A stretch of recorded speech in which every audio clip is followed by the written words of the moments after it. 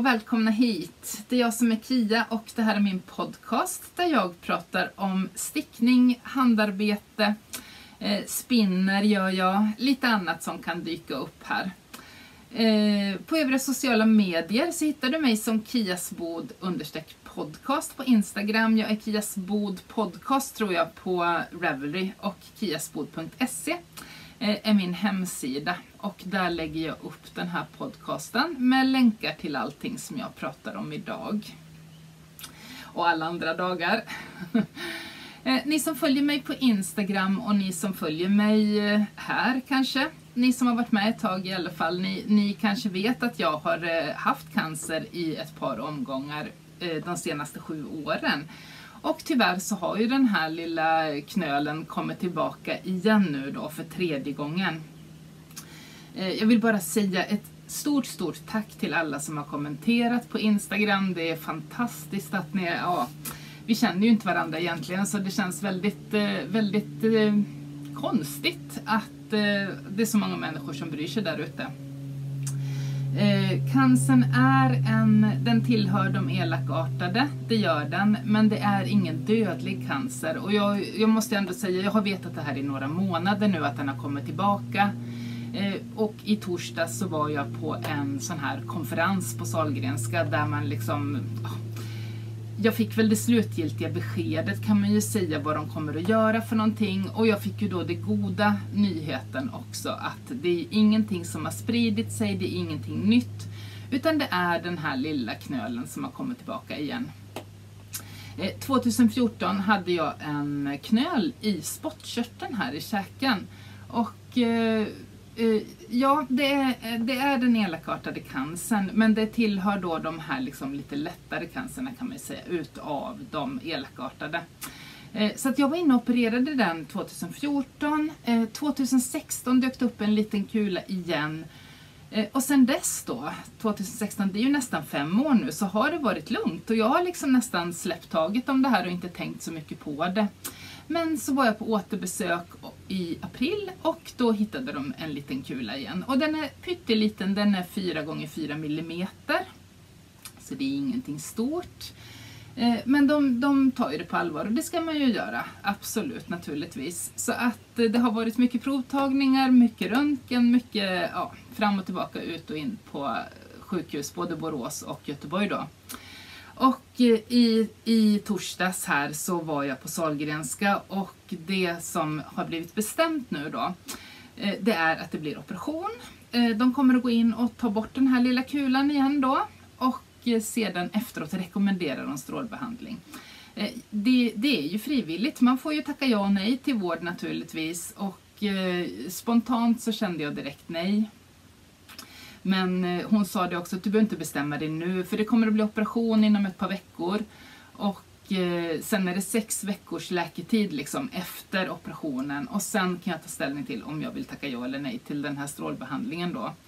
Eh, det som är det är att det, det är, ja, dels så är det ju liksom att det kan påverka det som är innanför också, det är väl det jag är lite rädd för. Eh, sen är det ju en jobbig resa naturligtvis att göra det här så att ja, vi får se. Det är ju ingen, ingenting jag behöver fatta beslut om just nu.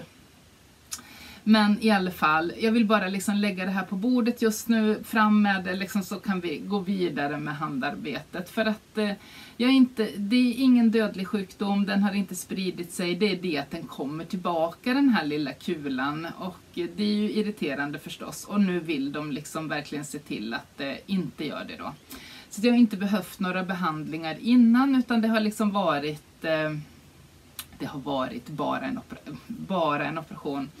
Eh, och jag har ju R naturligtvis, men eh, det har inte blivit mera men utav det här än att jag har fått lite R och det tycker jag känns okej.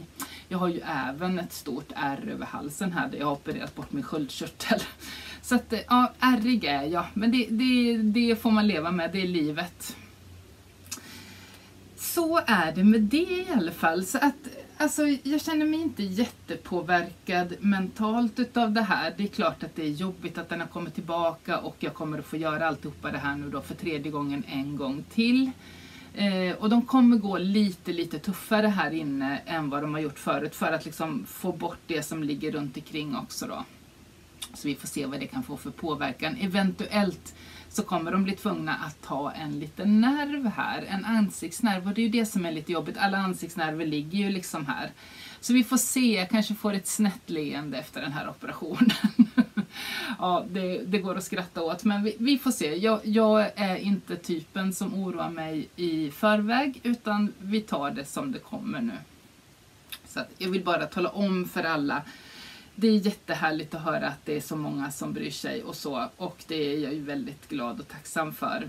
Och jag är ju självklart påverkad av det här men samtidigt så är jag ingen, ingen som oroar mig för mycket utan jag tar saker och ting som det kommer.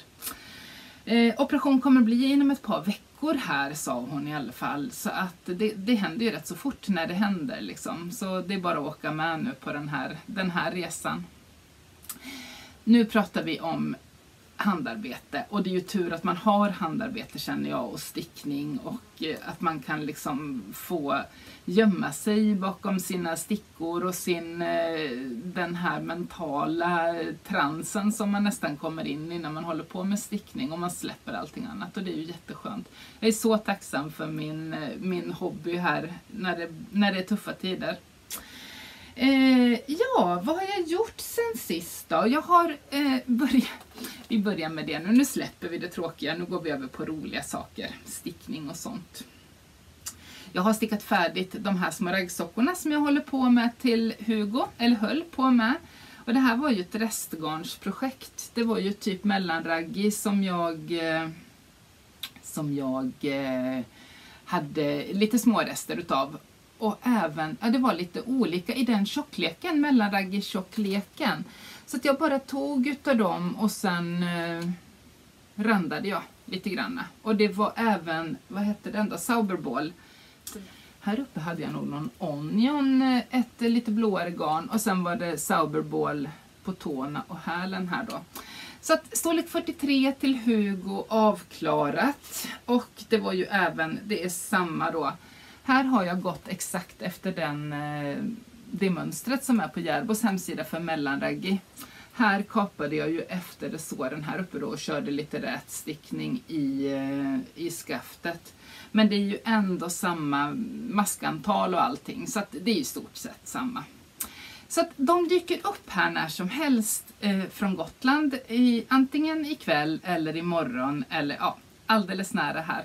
Eh, de åker ju över med sin buss och bor på vägen hit och åker någon liten, någon liten bit varje dag och tar det lugnt och stilla. Men han ska få två par nya raggsockor när han kommer, tänker jag i alla fall. Det är lite mysigt och han, han gillade ju det här med raggsockor så det var jättekul. Eh, ja, och de kommer ju då som sagt från Gotland och med sig har de ju då en ny leverans utav garnerna, utav Gotlandsgarnerna ifrån Stenkyrka ullspinneri. Eh, jag har även lagt med denna gången lite Gotlandsfiber och även ett förgarn som de har på eh, det här spinneriet. Så vi får se vad det, vad det blir för någonting. Eh, hon kommer här snart så att jag kan få dyka ner i den här lådan och kolla lite vad, vad som finns. Men det kommer ju dyka upp i webbshoppen. Eh, beroende lite grann på operationsdatum så vet jag ju inte riktigt om jag kommer att lägga upp det här före eller efter operation då. Vi får se. Det kommer i webbshoppen när det kommer. Det ska bli jättekul igen och, och köra ut en, en omgång med Gotlandsgarn till världen. Det var det färdiga projektet.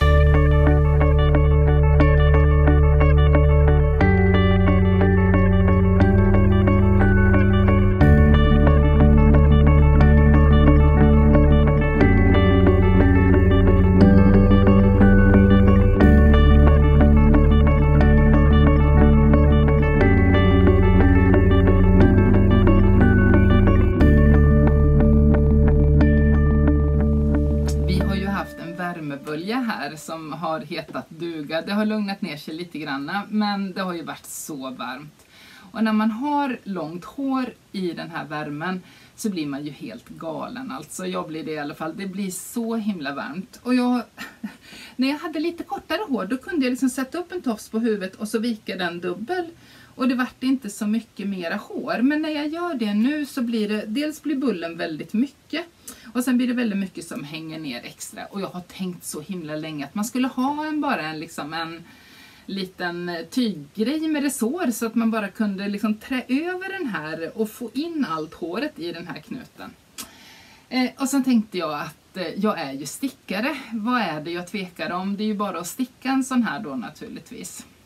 Så det gjorde jag. Jag stickade mig en liten hairbun har jag kallat den. Jag tror Bulle heter väl bun. Och nu kommer Nemo. Nu ska han få mat. Om ni hör att han skriker här. Eh, mm. Så att jag, jag stickade mig en liten hairbun naturligtvis. På dagen efter eh, så eh, tog jag fram ett eh, bomullsgarn som jag hade som heter eh, Sandnes Petit Mandarin och det var någonting jag hade hemma. Eh, och sedan har jag stickat mig en liten hårbulle och det ser nästan ut som en liten, eh, ja innan jag satte i resåren här så ser det ut som en liten hatt. Eh, så jag har ett sånt här tunt resårband som är som en liten tråd, ett sånt resårband som jag har trätt. Och i den här lilla bullen då, den här lilla hairbunnen, så finns det flera möjligheter att sätta det här resårbandet. Jag tror det är tre varianter här eh, beroende på hur mycket hår du har och eh, om du vill ha en sån här liten eh, krans som det blev runt här nere då. Men eftersom jag visste eh, att jag, eh, att jag eh, inte skulle komma ihåg vad jag gjorde för någonting i efterhand så skrev jag hela tiden vad jag gjorde för någonting. Eh, så att när jag var färdig med den här så hade jag ett färdigt mönster. Och sen tog vi lite bilder, eh, jag och min man. Och eh, så jag la faktiskt ut det här mönstret. Så mina Patreon, underbara Patreon, ni får ju detta gratis. Som vanligt får ni mina mönster gratis. Och på min Ravelry-sida nu så ligger faktiskt den här. Och den här heter Hairbun. Och jag la den för 30 kronor. Den är ju inte teststickad och den är inte mm, någonting. Den är bara nedskriven och liksom utkörd. Men jag tycker ändå för 30 kronor så det, det är också lite grann att få en liten peng för sin idé och sin, eh, sin tanke. Så, så att eh, de, den ligger som ett mönster på Ravelry om ni vill ha det. Jag kommer att länka den på min hemsida sedan. Men det var en liten rolig grej och det, var, det är väldigt enkelt. Hej Agnes! Kommer Agnes och ska säga hej. Ja, hej. Eh, jo, det är väldigt enkelt att sätta på den här för att du tar en vanlig resårsnodd Sen sätter du upp ditt hår beroende på var du vill sätta den där. Men jag tycker att det är väldigt skönt att liksom bara få den rätt uppe på huvudet. Eh, sen snor du ditt hår runt den här snodden. Ta den här, du tar liksom handen in, du vänder den ut och in först. eh, och sedan tar du liksom knuten i och så bara trär du över den. Sen har du en liten bulle på din lilla, din lilla knut där. Och sen håller håret sig på plats och det är ju jätteskönt när det är så varmt. Man orkar inte riktigt med att ha hår överallt. Så det var en liten rolig grej som jag fick gjort på ett par dagar. Det är ju lite märkligt det där när man sätter igång och så eh, blir det gjort så fort. Men det var ju för att jag skrev ner samtidigt vad jag gjorde för någonting så var det ju klart. Och när bilderna var tagna då så var det ju bara att köra, köra ut mönstret. Det var det. Och jag ser här nu när jag sitter och viftar med mitt hår och så. Jag har ju på mig min Armor Top som jag designade förra året. Och det är ju en topp som är stickad i lina. Inte den tunna lina utan den vanliga lina. Och den är stickad nerifrån och upp. Eh, jag har faktiskt gjort ett, eh, ett ett eh, Youtube-klipp här där jag förklarar hur jag gjorde exakt. Eh, och den är ju liksom med omlottdel här över bysten då och med en flät, lite flätor där så lite längre variant här. En härlig modell att ta fram nu igen när det, när det blir lite somrigare och ha, man orkar inte ha så mycket kläder på sig. Så att, nej, jag, tycker den, jag tycker jättemycket om den, väldigt härlig. Stickad i mossstickning och den heter Armor Top fällade jag den.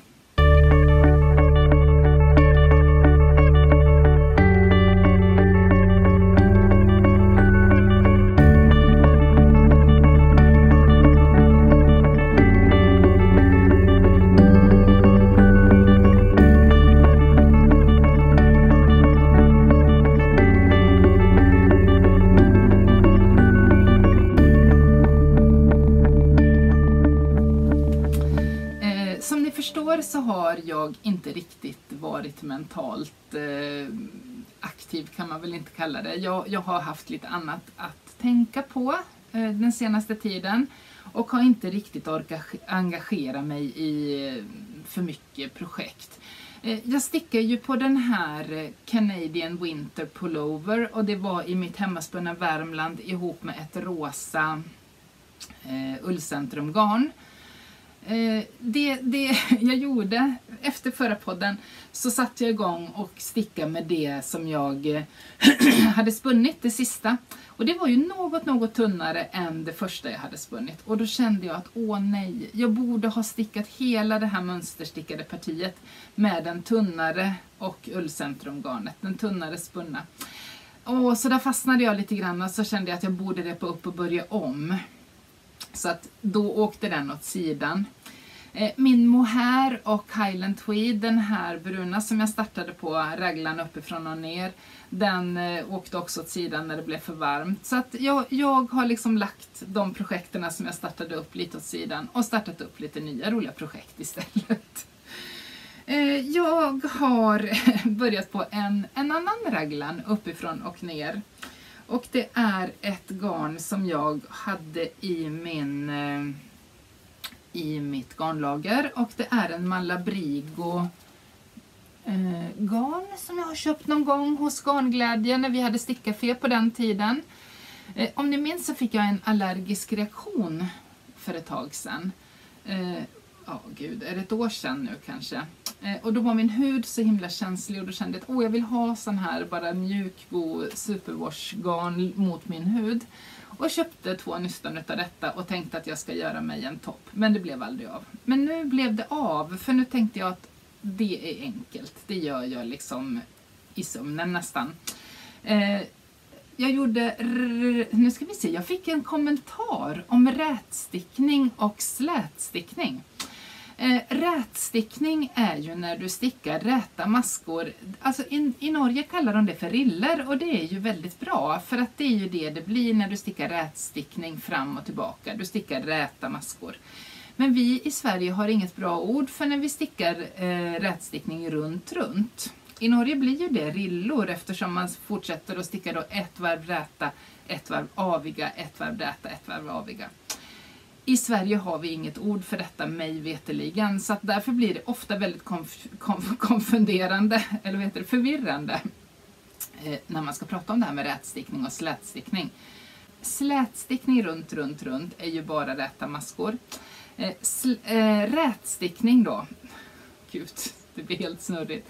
Rätstickning är ju när man stickar rätta maskor egentligen fram och tillbaka så att du får de här rillorna. Så att Norge har ju rillestickning och jag tycker vi ska försöka sno det ordet med de här rillorna. tycker jag är ett jättebra ord för att inte för, bli förvirrade.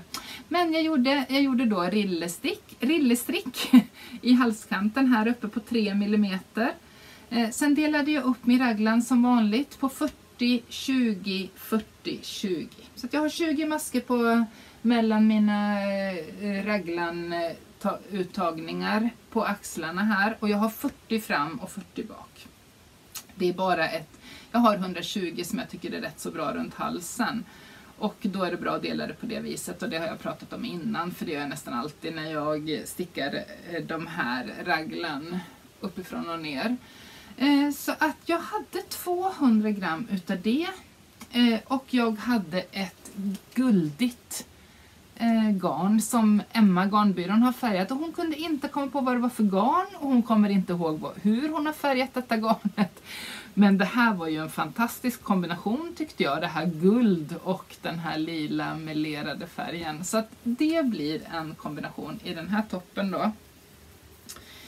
Eh, jag stickade upp nästan hela första nystanet. Jag sparade lite grann till ärmarna eftersom det blir, när man har sånt här garn så ska man ju hålla på och växla med eh, växla mellan nystan för att inte få någon skarp övergång. Men jag eh, är ju inte så hemma på det här så att jag kom på mig till slut att jag kanske ska spara utav den här eh, första härvan till mina små ärmar här.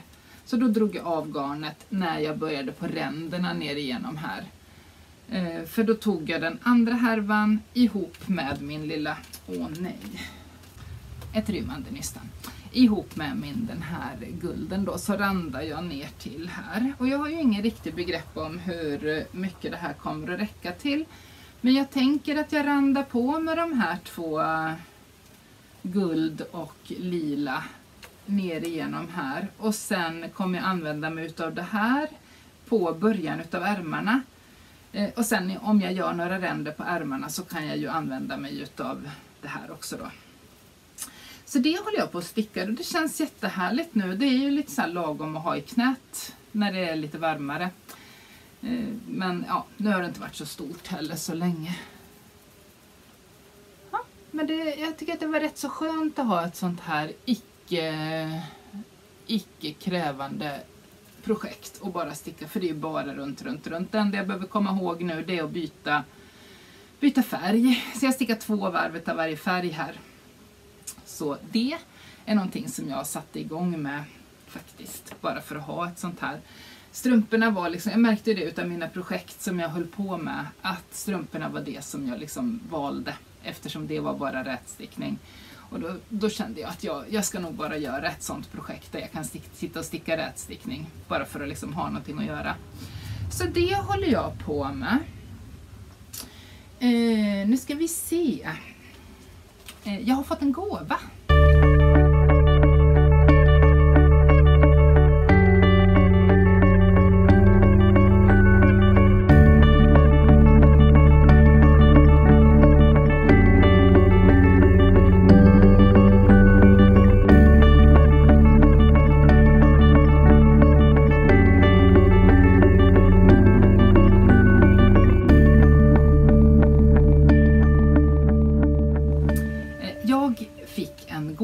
posten. Eh, jag tror att det var i torsdags, ja, när vi kom hem från Salgrenska, just det, då låg det ett stort paket i brevlådan och jag blev så himla glad. Eh, jag hade blivit kontaktad av två tjejer som heter Kia och Pia och har startat ett eh, projekt kan man väl kalla det nästan. De har varsitt företag vad jag förstår det som. Den ena heter Pia Andersson Firma och den andra heter Forsbacka Ull och hon har en webbsida. Tillsammans har de startat en Facebook-sida som heter Fantastiska Fiber. Och det de gör då det är att de går ut i, eh, i eh, hos bönderna, när, när, närliggande bönderna och samlar in ull som de tvättar och kardar och färgar och säljer då på sin Facebook-sida Fantastiska Fiber. Eh, så att det som låg i min i min brevlåda det var ju de här tre otroligt läckra kardfloren. Eh, och det här är Gotland, lammull, superfint, jag älskar ju Gotland. Eh, så det var de här tre härliga kardflorerna. Och eh, det har de då gjort, det är 80% Gotland lammull och sen har de 20% utav någonting som heter sparkling. Eh, och det är Eh, bara glitter kan man säga. Det är en nylonprodukt. Eh, men eh, det här kan man då blanda ut. Så jag fick faktiskt sex olika små färger här om jag själv skulle vilja blanda till, blanda ut och göra olika färger med lite glitter i till, till mina fibrer som jag har hemma. Och jag har ju beställt ifrån Stenkyrka ullspinneri fiber också. Så det kanske kan bli kul om man blandar ut lite grann i det här. Ha, så tusen tusen tack, det blir jag jätteglad för. Och det passar ju så väldigt bra med lite tillskott i fiberstashen nu när det är Tour de Fleece. För den startar ju idag. Eh, jag har inga stora planer för Tour de Fleece eftersom jag eh, inte vet riktigt hur jag kommer att ha det här framigenom. Men det är ju superhärligt och, eh, och ha någonting inspirerande att sätta händerna i när man känner att lusten faller på. Så att jag ska försöka att spinna de här grejerna här nu under Tour de Fleece. Och, och det är tre veckor. Eh, Tour de Fleece går samtidigt som Tour de France, den här eh, cykelturen som går i Frankrike, den här tävlingen. Och då har de startat upp Tour de Fleece och då spinner man under de här tre veckorna Eh, det är väldigt, väldigt individuellt. Du sätter upp dina egna mål. Det, det är liksom ingen, ingen tävling hur mycket du... Eller ja, du kan, du kan ju tävla. Men eh, det är liksom ett mål för dig själv om du känner att du vill eh, lära dig spinna kan man ju sätta upp att man ska spinna en halvtimme varje dag. Eller om du har ett berg med fiber som du vill spinna dig igenom så kan det ju vara ett bra tillfälle att bestämma dig för att ta, ta tag i någonting som du har liggande som du vill göra. Eh, vi får se vad jag gör. Jag spinner ju lite grann hela tiden när andan faller på. Så om jag kommer spinna mer eller mindre just under de här tre veckorna, det vet jag inte. Men det var ju ett välkommet tillskott i alla fall med lite underbara nya fiber som jag kan gotta ner mig i.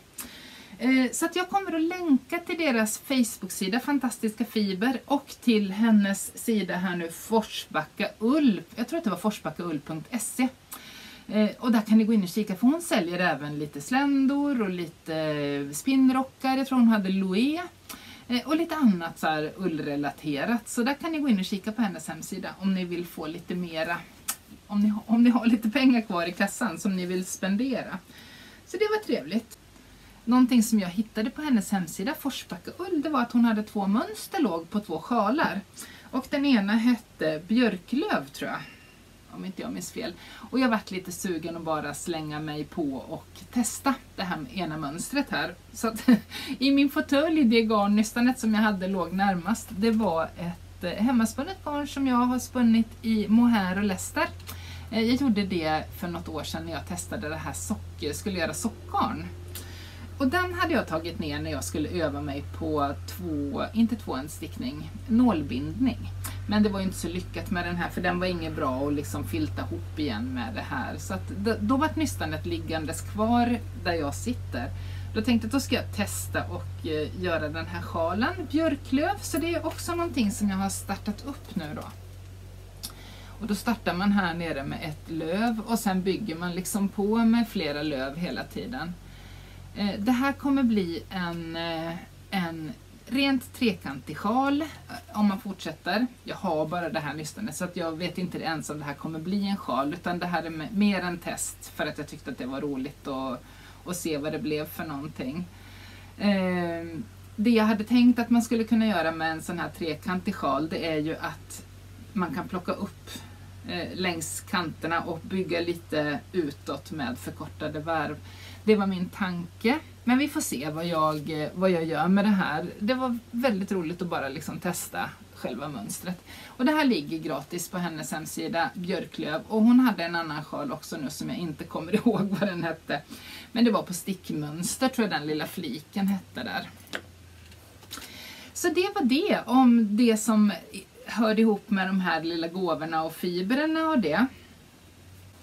Förra helgen så hade vi en spinnträff i Örby och det var ju helt fantastiskt att, att träffa andra människor. Vi har inte träffats i, i flock, höll jag på att säga, eh, i st större sammanhang på väldigt, väldigt länge. Så att jag tror vi alla var jätteglada och nöjda och tyckte att det var så kul att komma ihop och träffas. Och spinna och sticka och inspirera varandra och bara liksom hänga där och, och nej, det var jättemysigt. Jag hade med mig mina sländor som jag dukade upp på ett bord där så jag tänkte att eh, det var roligt för folk att liksom få prova på det här med slända och jag visade lite grann. Och det var lite kul för att det kom direkt när jag la upp så kom det en eh, mor och en dotter och det var jättetrevligt om ni tittar nu.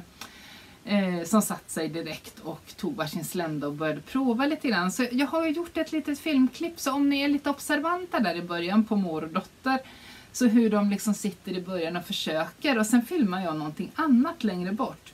Och då ser jag sen när jag tittar på filmen i bakgrunden, då står de upp liksom och spinner. Då har de verkligen gått in i det här och, och tyckte det var jätteroligt. Och jag tror att de köpt faktiskt också sländor sen. Det var jätte, jätteroligt att se.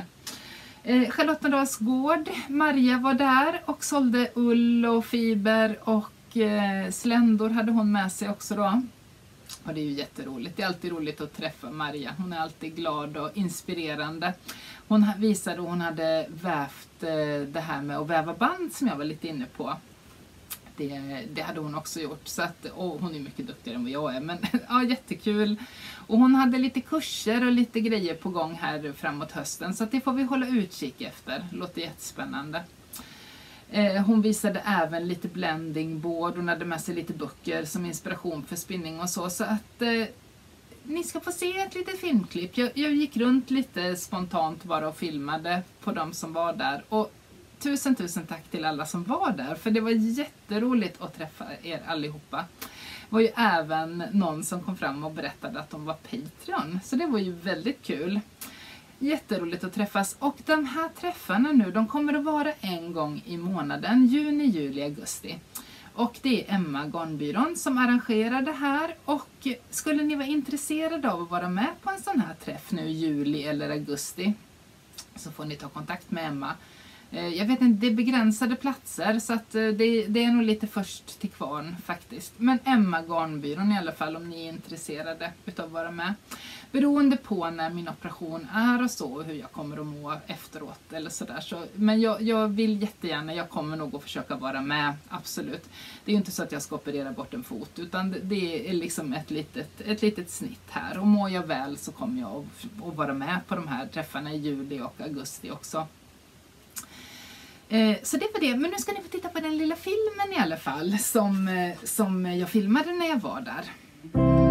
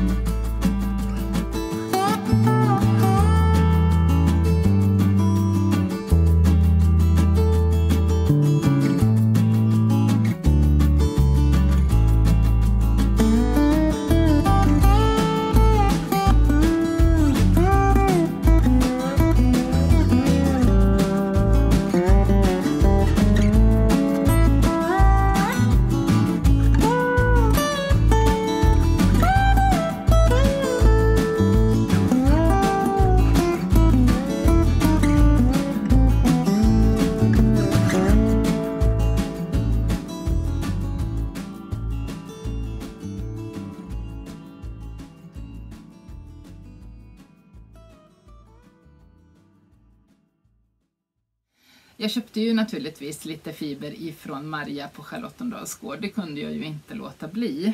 Eh, och ja, ja, ni vet, förra gången visade jag er att jag höll på att spinna något akvagrönt glitterfiber. Det är ju inte alls jag, men jag är väl inne i någon, i någon fas, tänker jag, när jag behöver lite glitter i mitt liv. Eh, så att jag köpte ett, Eh, det var merino och sen var det eh, nylonglitter är det ju. Det blir ju en nylonform det här glittret som läggs i. Eh, och eh, 100 gram utav det nylonglittret, merinoglitter och eh, 100 gram utav merino silk. Sen spann jag en spole utav eh, den ena Eh, merino-glittret och en spol utav det här merino-silken. Och sen har jag tvinnat ihop det till en, eh, till en tråd då. Och det är klart att jag skulle kunna använda det här som sockgarn, men vita sockor känns ju inte jättespännande faktiskt. Eh, så att det blev nära 200 gram för att jag, jag spann lite olika så att jag har kvar faktiskt 10 gram på en, en, en av spolarna. Jag fick det inte att gå jämnt upp i slutändan. Eh, så att det är 190 gram och det blev 700 meter utav det här och det vart rätt så fint tycker jag. Nu ser man väldigt dåligt. Jag ska ta en bild och en liten när, närbild på det här så att ni kan se hur det blev. Så 700 meter fick jag ut utav detta och jag tror att det skulle vara fint att sticka på 3, 3 mm stickor för det blev ändå rätt så tunt. 3, 3,5 kanske. Eh, och då kom Emma ut eh, och hjälpte mig lite grann för att vi, eh, vi, jag behövde lite hjälp vad jag skulle kombinera det här med och vad jag skulle göra för någonting. Så vi hade en liten orgie uppe i min, mitt garnrum bland mina garner och rotade och letade och vi, ja, man, du vet, man lägger upp det här och så kombinerar man med olika färger för att se vad som fungerar bra. Och det var bland annat då jag rotade fram de här och hittade dem för jag tänkte att de kanske hade funkat bra att kombinera med den. Eh, det, vi, det vi fastnade för i slutänden var en vinröd faktiskt. Eh, som vart jättefin ihop med det här. Eh, det på något vis plockade upp något rosa i den här och gjorde att det såg inte så blakt och mesigt ut utan gav lite extra lite färg i det här då. Så att jag kommer att göra någonting eh, utav eh, den här härvan och sen hade jag två stycken utav den här vinröda. Också lite glansig och så, samma som denna då eftersom det var lite glitter och lite silke i den. Så det här kommer jag kommer kombinera ihop till någonting. Eh, jag satt och tittade på en norsk podcast som heter e Eva Strick, tror jag den heter. Och hon hade ju stickat två nya sommartoppar och nu kommer jag ju inte ihåg vad de hette. Men den ena var som en eh, vad hette, det var Lena Holme Samse som hade gjort en, eh, en topp som var lite såna här påfågelsmönster typ i hela oket. En, någonting som jag tror att det är många som stickar i Norge nu. Och sen hade hon även stickat en annan och det var den jag varit lite sugen på och den var lite, det oket var lite randigt och med lyfta maskor.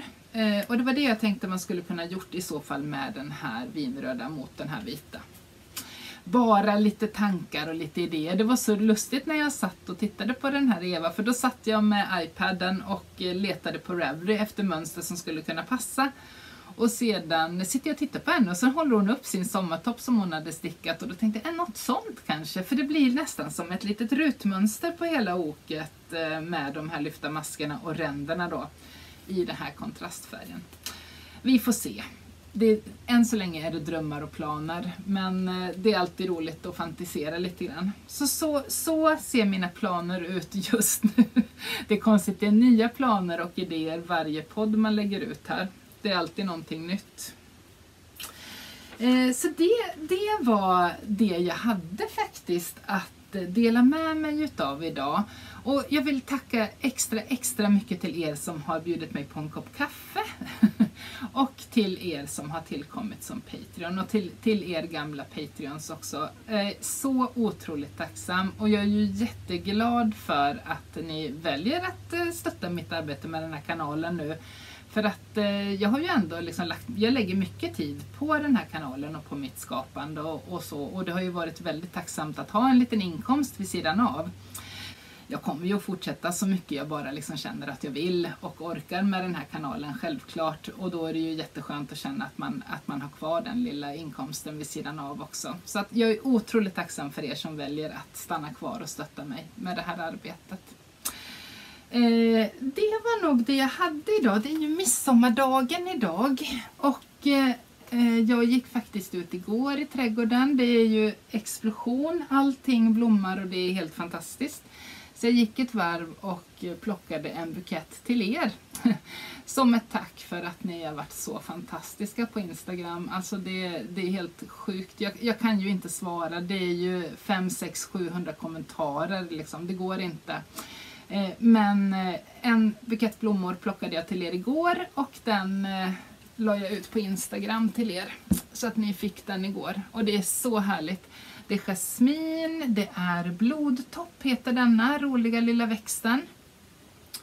Det är stjärnflocka, det är ormrot heter denna. Det är egentligen ett ogräs men den är rätt kul att ha i, i buketter så här. Eh, de här är ju de här vanliga spirea. Som, var och en för sig är ju inte blommorna jättekul men när man sätter ihop dem i en bukett så blir det ju, det fyller ju ut och det blir fantastiskt. Sen har jag några av de här trädgårdsklinten. Där ser ni en sån. De är lite större än de vanliga blåklinten. Och alltihopa det här, och daggkåpor naturligtvis. Alltihopa det här är Eh, perenner som kommer varje år i min trädgård. Så att eh, jag har min, eh, min lilla bukett som jag kan plocka här. Och det är mycket, mycket mer nu. Rosorna blommar och klematis blommar. Och det är så härligt och man bara hör humlorna och bina. De jobbar på i alla buskar och träd här. Så de har mycket att göra nu. Och det verkar bli ett ett bra år för smultron, hallon, jordgubbar. Jättemycket är på gång. Smultronen har ju redan börjat bli röda här så mitt lilla barnbarn han har varit hemma och rensar smultronplantorna. Eh, hallon ser ut att bli jättemycket så att det blir mycket att ta tillvara på i år. Jättehärligt. Och vindruvor. Hela taket är fullt här så att det kommer bli galet mycket vindruvor i år i taket. Eh, det jag gör med min vinranka i växthuset här det är ungefär att eh, var tredje år så klipper jag tillbaka den väldigt hårt. För att eh, för, förra året så klippte jag tillbaka den väldigt hårt och förra året blev det lite lagom egentligen med vinranker. Eller med vindruvor, klasar. I år blir det sådär extremt mycket klasar igen så att jag tror att i höst så kommer jag nog liksom att klippa, klippa tillbaka den här igen lite grann för att dels så blir det väldigt mörkt här inne och sedan eh, så här mycket vindruvor, det använder inte jag. Vi gjorde vin något år men jag dricker ju inte alkohol så att det känns ju onödigt. Men mycket vindruvor är det. Så till hösten här så kommer det bli massor med vindruvor. Vi äter så mycket vi bara kan.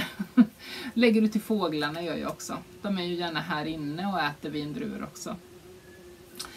Okej hörni, vet ni vad? Det är podd 99 detta. Så att jag ska försöka göra podd 100 relativt snart också. Tänk att jag har gjort 99 poddar. Det är ju helt fantastiskt.